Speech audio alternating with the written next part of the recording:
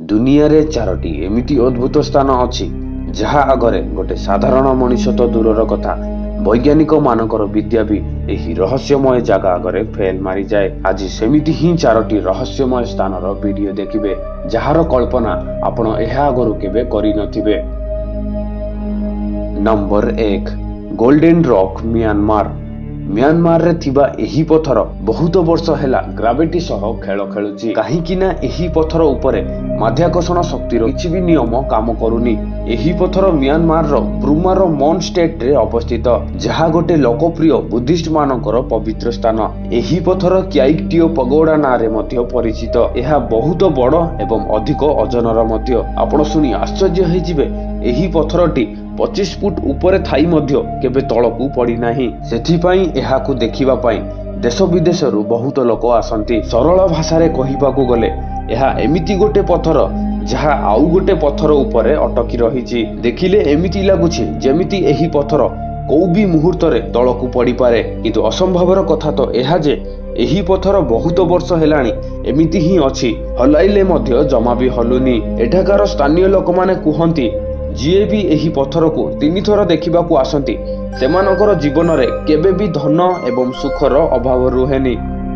Number two Santa Cruz mysterious spot ଆମେରିକାର ରାଜ୍ୟ କାଲିଫର୍ଣ୍ଣିଆରେ ଥିବା ସାଣ୍ଟାକ୍ରୁଜ ସହର ସବୁବେଳେ ତାର ପ୍ରାକୃତିକ ବାତାବରଣ ସମୁଦ୍ର କୂଳ ଏବଂ ଘନ ସୁନ୍ଦର ଜଙ୍ଗଲ ପାଇଁ ପରିଚିତ। କିନ୍ତୁ ଆପଣ ଶୁଣିଲେ ଟିକେ ଆଶ୍ଚର୍ଯ୍ୟ ହେଇଯିବେ ଏଠି ଏମିତି ଗୋଟେ ରିସର୍ଟ ଅଛି ଯାହା ଭିତରେ ସବୁ କିଛି ଓଲଟା ପାଲଟା ଅଛି ମାନେ ଏଠି ମାଧ୍ୟାକର୍ଷଣ ଶକ୍ତି ଜମା ବି କାମ କରୁନି ଏହି ରିସର୍ଟ ଯୋଉ ଜାଗାରେ ନିର୍ମାଣ ହେଇଛି ସେହି ଜାଗାକୁ ମିଷ୍ଟିରିୟସ୍ ସ୍ପଟ ବୋଲି କୁହନ୍ତି। ଯଦି ଏଠି କେହି ପାଣି ପକାଏ ତାହେଲେ ସେଇ ପାଣି ତଳକୁ ନ ପଡି ଉପର ଆଡକୁ ଚାଲି ଆସେ। ସବୁଠୁ ଚକିତ କରିବା କଥା ତ ଏହା ଯେ ଯଦି ଆପଣ ବି ସେଠାରେ ତଳକୁ ପଡିବା ପାଇଁ ଚେଷ୍ଟା କରିବେ ତାହେଲେ ଆପଣ ଜମା ବି ଏହା କରିପାରିବେନି। କାହିଁକି ନା ଏହା କରିବା ପାଇଁ ଆପଣଙ୍କୁ ମଧ୍ୟ ଗ୍ରାଭିଟିର ଆବଶ୍ୟକତା ଅଛି ଯାହା ଏଠି ଜମା ନାହିଁ। ଏହି ଜାଗାର ସନ୍ଧାନ ଉଣେଇଶହ ଅଣଚାଶ ମସିହାରେ ହେଇଥିଲା। ଏହା ପରଠୁ ଏହି ଜାଗା ଲୋକମାନଙ୍କ ପାଇଁ ଗୋଟେ ଲୋକପ୍ରିୟ ସ୍ଥାନ ପାଲଟି ଯାଇଛି।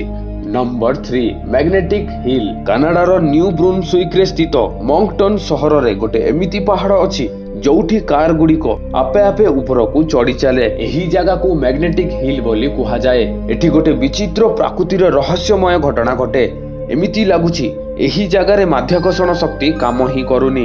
ଏହି ପାହାଡରେ ଘଟୁଥିବା ଏମିତି ଘଟଣା ବିଷୟରେ ଲୋକମାନଙ୍କୁ ଉଣେଇଶହ ଚାଳିଶ ମସିହାରେ ଜଣାପଡ଼ିଲା ଏବଂ ତା ପରଠାରୁ ଏହି ଜାଗାକୁ ଦେଖିବା ପାଇଁ ବହୁତ ଲୋକ ଆସନ୍ତି। ଲୋକମାନଙ୍କର କହିବାର ଅନୁସାରେ ଏଠି ଗାଡିର ଇଞ୍ଜିନ ବନ୍ଦ ହେବା ପରେ ମଧ୍ୟ ଗାଡି ଆପେ ଆପେ ପାହାଡର ଉପରକୁ ଚଢି ଚାଲେ ବୈଜ୍ଞାନିକ ମାନେ କୁହନ୍ତି ଏହି ଜାଗାର ଚୁମ୍ବକୀୟ ଶକ୍ତି ଅଧିକ ଥିବା କାରଣରୁ ଏମିତି ହୁଏ। ସବୁଠୁ ବଡ ଚକିତ କଥା ତ ଏହା ଯେ ଏହି ପାହାଡର ଚୁମ୍ବକୀୟ ଶକ୍ତିର ପ୍ରଭାବ ଏହା ଉପରୁ ଉଡି ଯାଉଥିବା ବିମାନ ଉପରେ ମଧ୍ୟ ପଡିଥାଏ। ସେଥିପାଇଁ ପାଇଲଟ ମାନେ ଏହି ପାହାଡ ଆସିବା ଆଗରୁ ପ୍ଲେନର ଗତିକୁ ବଢେଇ ଦିଅନ୍ତି। Number four the stone of the box.